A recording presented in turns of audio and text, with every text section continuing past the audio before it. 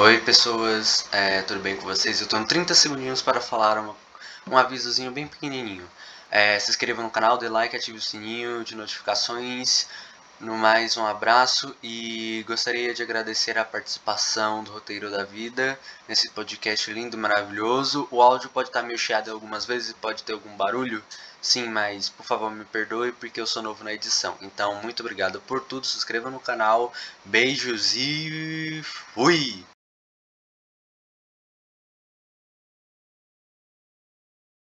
Já. É, fala galera do canal, provavelmente não tem muitos, mas eu quero agradecer a todos que estão aqui para ver esse podcast. Eu estou com um. E o Kai, ou Jefferson. Sim, o link do canal dele vai estar na descrição. Ele fala muito sobre animes e a filosofia dentro desses animes. Ele fala de vários conteúdos, essa é a verdade. O canal dele é super interessante, super bacana. E hoje eu tenho 14 perguntas para ele. Valeu. É, pode falar agora, sua intro. É, obrigado, Daniel. É, o Daniel, só para pontuar, obrigado pelo convite. E a gente é colega, né? A gente conversa no YouTube faz um bom tempo, no canal lá que eu enfim, faço por hobby. Mas Sim. valeu por, pela interação, sempre é divertido conversar com você por lá. Obrigado. É, já posso começar com as 14 perguntas? Manda ver, manda ver, Daniel. Aí outro dia você faz as 14 para mim também. Caso 10. consiga juntar 14. É, 10, 10 perguntas. Eu faço redondo, 10 é mais fácil. É. A, pergunta, a primeira pergunta é a seguinte: quem é você? Como indivíduo ou como existência? Bem, assim, é, eu geralmente começo a sair um pouco da, das fronteiras básicas da resposta, né? Para mim entender quem eu sou, eu vou ter que entender o que, que é o mundo, né? Eu vou ter que pensar sobre como eu sou condicionado ao contexto e como esse contexto ele garante a minha fronteira.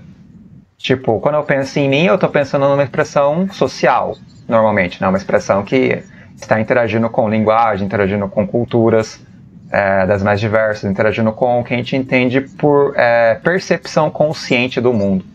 Então, eu diria que eu posso ser entendido como a, um reflexo de todo o universo social humano na história. Eu sou uma resposta, entre aspas, uma fronteira definida por milhões de anos ou milhares de anos e nesse instante consigo me expressar por causa da composição complexa de todas essas, é, digamos, influências ou parcelas que compõem o indivíduo, pode ser assim? É, cara, você me deixa sem palavras. Você consegue responder muito bem, muito bem mesmo. Você deu a definição do que é o ser e depois deu a definição do que é você ao mesmo tempo. Não, Isso é... foi magnífico. Não, eu vou editar esse negócio, eu tenho que editar e colocar um, um parabéns. Valeu, mas... É, qual o seu objetivo no YouTube? Meu objetivo no YouTube é, bom, primeiramente eu criei o canal por causa que eu queria desenvolver uma técnica mais adequada de escrita, né? Interagindo com pessoas e, enfim, escrevendo para pessoas, porque eu acho que o YouTube é uma coisa muito, digamos, via de mão única, né? Um tanto quanto isolada nesse mesmo. Então a ideia seria eu pegar é, e conseguir fazer um canal colaborativo, onde eu trabalhasse junto com as pessoas, né? Elas davam ideias de contos, temas centrais, eu escrevia por encomenda. E depois disso eu vi que não funcionou direito, porque o YouTube ele não engrena, né? Não tem um diálogo com facilidade, eu não tenho uma, eu sou antissocial, então eu não tenho uma grande é, relação com pessoas em geral, social, social amigos, né? Pessoas ao redor. E eu não consigo ter uma espécie de, de posso dizer, é, grupo, né? Eu não estou vinculado a grupos que me sustentem nesse tipo de, de interação mais ampla né, na sociedade. Então a ideia inicial era simplesmente essa, era abranger um pouco da minha treinamento, é um treinamento na escrita. Depois, como também tenho várias outras coisas que eu gosto, eu vi que era legal de expressar, né? Por tédio, também por terapia, ou por simplesmente registro. É uma coisa de registro, tanto que é roteiro da vida o nome do canal, porque é um roteirão, é um transcorrer na vida.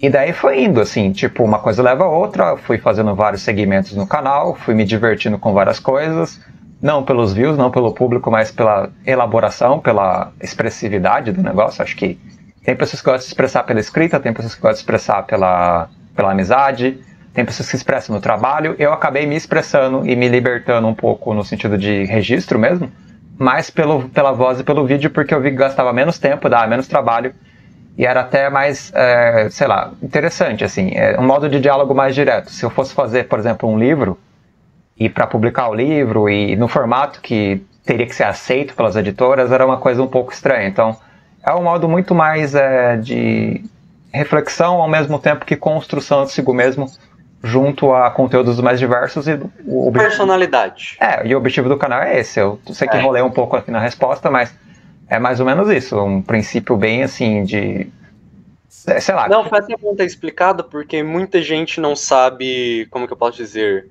se expressar muito bem, é, não é se expressar, é aplicar a sua característica, o que você gosta, para tentar formar uma personalidade, fazer o que você gosta para modelar você e seu futuro, entre aspas. Eu não sei se alguém entendeu o que, que eu quis dizer. Entendi. É, qual a definição de cara, é, qual, a defi, qual a definição e característica de personalidade?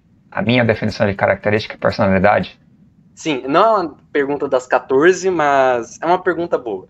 Não, interessante. Assim, de personalidade, como você pode ver, eu sou uma pessoa, é, digamos, um tanto quanto reclusa, um tanto quanto mais na minha, mas ao mesmo tempo extremamente problemático, no sentido de que eu distorço ou expando demais as coisas. Se vocês verem os conteúdos do canal, você vê que eu estou debatendo temas sem autoridade, no sentido de se ter o critério de base, né, sem respaldar na herança, na tradição, é. pensamento, eu sou muito livre, ao ponto de ser anárquico. E, aliás, eu sou anarquista. Mas o ponto é. é anarquista tem um ponto bem legal. É, é, o ponto é: a minha personalidade é uma personalidade muito. É, não combativa, mas ela é incômoda. As pessoas se incomodam quando eu falo sério. Normalmente eu fico no senso comum, é, pisando em ovos, sabe? Quando você leva as pessoas assim na, na convenção, trabalhando com o cotidiano, com o que está ao redor. Mas de Sim, vez é em porque mas... quando você diz a verdade para algumas pessoas, elas se incomodam com isso. Então, se altru...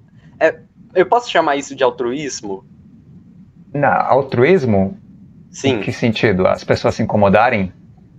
Sim, eu, por exemplo, as pessoas se, incomoda... se incomodarem e eu tentar reverter o que eu acabei de falar. É uma atitude altruísta? Não, porque o altruísmo é um modo de ajudar o outro, né? Você tem uma predisposição a se é, anular e a querer que o outro esteja no mesmo nível ou superior a você. Que o outro esteja bem, né? Em equilíbrio, saudável, progredindo. Se você visa apenas a, a complexidade da cultura, tipo, ah, vamos debater, apenas debater. Aí não tem ganho. Se não tem ganho, não é altruísmo, é, uma, é um comunitarismo, pode ser assim. Aí nesse sentido, se você é uma pessoa comunicativa, é um comunitarismo. Se você é uma pessoa egoísta que quer lucros e vantagens, você é egoísta, né? Se você usa o outro como um pilar de sustentação, como alguém digno, alguém que você tem um sentimento forte, aí seria altruísmo, né? Nesse sentido.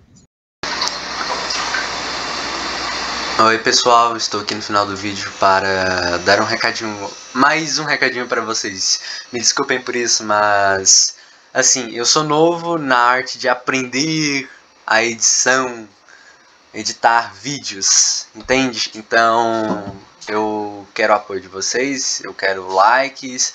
Aí vocês, ah, mas assim, foi facinho, você só pegou, sobrepôs o áudio com algumas imagens e uma, uma tela infinita de um GIF de que você pegou na, no Google sobre tal assunto, da chuvinha, tal, blá blá blá, e sobrepôs. Simplesmente foi isso que você fez.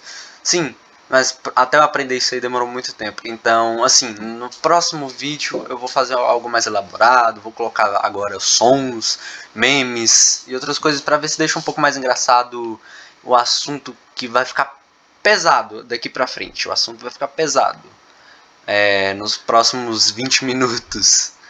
E na verdade são mais 40, não, 50 minutos trazendo. E outros 19 minutos talvez sejam no meu canal. Eu não sei ainda se eu vou postar no canal só no canal dele ou no meu. Na verdade no meu talvez eu não poste, mas com certeza eu vou postar no dele, óbvio. E eu quero agradecer muito a ele por ter dado essa atenção, ter vindo nesse podcast. Agradeço de coração mesmo. Muito obrigado por tudo. Eu vou esperar dar uns 10 minutinhos e vou dar um tempinho para vocês dar like no vídeo, compartilhar, se inscrever no canal, ativar o sininho de notificações, lembrando todos vocês sobre todas essas etapas, blá blá blá blá blá blá. Se inscreva no canal, ouviu, ouviu, ouviu, gente. Vou esperar dar 10 minutinhos. Provavelmente já deve ter passado os 10 e eu tô aqui igual bestão. Mas bora lá, continuando. 10 minutinhos, 10 minutinhos. Se inscreva no canal, se inscreva no canal, se inscreva no canal. Fui!